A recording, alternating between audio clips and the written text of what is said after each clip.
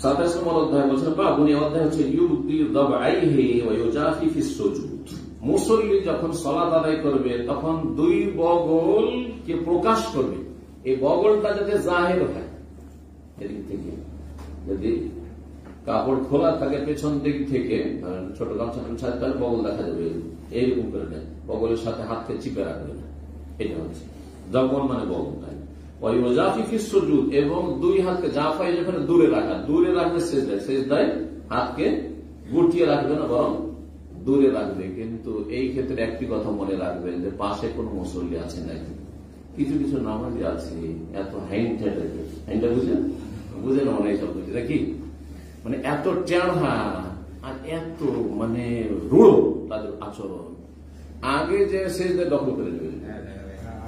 আর এমন করে দখল করে নেবে মনে বলছে সে সন্ন্যতের পাক্কা সন্ন্যতের এইখানে এটার একটা উদাহরণ যে সন্ন্যত পালন করতে গিয়ে হারাম কাজ করা। মমিনকে কষ্ট দেওয়া প্রতিবেশীকে কষ্ট দেওয়া পাশের লোককে কষ্ট দেওয়া কি? জায়েজ? মাকরু?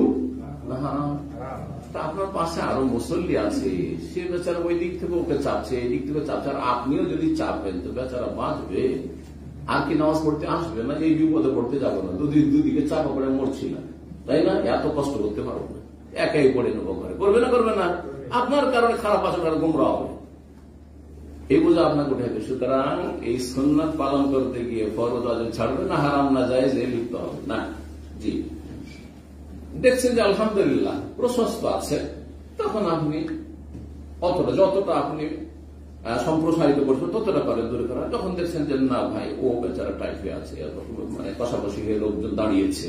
তাহলে ঠিক আছে।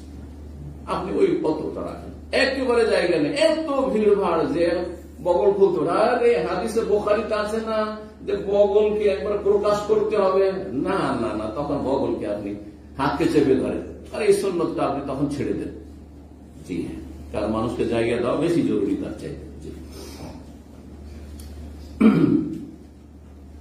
عن عبد الله بن مالك بن بحينة 390 নম্বর হাদিস সাহাবী বর্ণনাকারী আব্দুল্লাহ বিন মালিক ইবনে বুহাইনা রাদিয়াল্লাহু তাআলা আনহু বলছেন আন্নাবী সাল্লাল্লাহু আলাইহি ওয়াসাল্লাম সাল্লাল্লাহু নবী সাল্লাল্লাহু সাল্লাত আদায় করতেন ফাররাজা বাইনা ইয়াদি দুই হাত কে প্রশস্ত রাখতেন খোলা রাখতেন ফাররাজা গুটিয়ে না কবজার বিপরীত হাতে এমনকি তার দুই বগলের শুভ্রতা প্রকাশ পেত বগলের এই জায়গাতে সাদা থাকে ফর্সা যত ফসল তত সাদা থাকে তো এই শুভ্রতা প্রকাশ পেত সাদা অংশ দেখা যেত। তার মানে নবী সাল্লাম তাহলে আমাদের ওটা গেঞ্জি পরে থাকতেন না।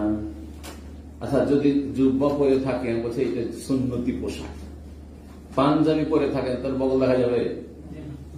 কারও পাঞ্জাবি পরে আছে আর জুব্বা পরে আছে, বগল দেখা যাবে নাকি? খুব দেখা যাবে। তো বগলে আমার জুব্বা দেখা যাবে, কিন্তু বগল তো কোনোদিন দেখা যাবে না। তাহলে এমন কাপড়ে সালাত আদায় করেছেন নবী সাল্লাম, তাও ফরজ সালাদ ফরজ সালাত যে যেই কাপড়ের পেছন দিক থেকে কেউ দেখলে বগলটা জাহির ঠিক কিনা? যেমন গামছা আছে, যেমন এহরামের কাপড় আছে। আচ্ছা না এইরকম। এহরামের কাপড় ধরেন এইভাবে গায়ে আছে না, এই দিকটা এইভাবে রেখেছেন। হ্যাঁ? কারণ দুটো যদি এইভাবে নেন, তাহলে ঝামেলা হাতটা বের করা করি।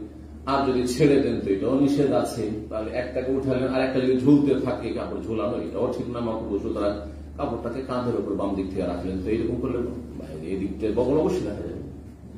এখানে আর এক মশলা জানতে পারলাম যে বগল যদি পিছন থেকে দেখা যায়, তো বডি খুলে গেল সলাৎ মাকরু হয়ে গেল, এমন নাই। তো নবীজ মকরু কাজ করেছেন নাকি? হ্যাঁ? এটা জরুরি নয় আপনার কাঁধের উপর কাপড় থাকলে হইল কাঁধের উপর কাপড় থাকলে হইল তাও কাপড় থাকলে, এর আগে সব মশাইলগুলো আলোচনা হয়েছে। যার কাঁধের উপরে রাখা কাপড় নাই, শুধু নাভি থেকে নিয়ে হাঁটু পদ ঢাকা আছে, সে কি করবে? আগে কাঁধে রাখবে নাকি? ওইদিকে যা হবে তাই হবে, সেদিকে আমি দেখব না, কাউকে দেখতেও দেবো না, নাকি?